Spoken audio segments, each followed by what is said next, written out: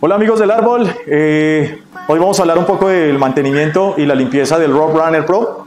Lo primero que debemos validar es esta parte de acá, se llama el pájaro.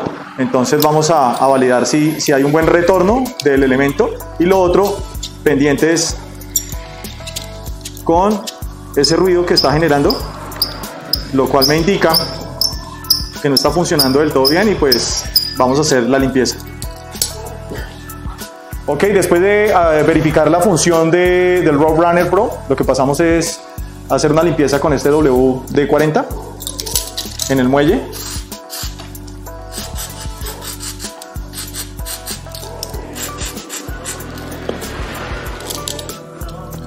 Acá observamos que ya solamente con esa limpieza eh, mejora inmediatamente el movimiento, pero vamos a continuar haciendo su limpieza en cada una de las partes que deseamos.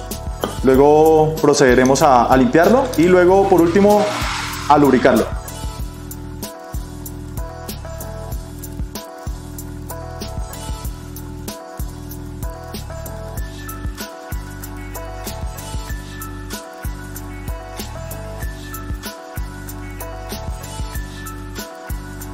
Bueno, después de hacer la limpieza, eh, procedemos a hacer una lubricación con el aceite eh, 3 en 1. En este caso, él tiene un puerto acá de lubricación, el cual pues vamos a aplicarle bastante eh, aceite 3 en 1.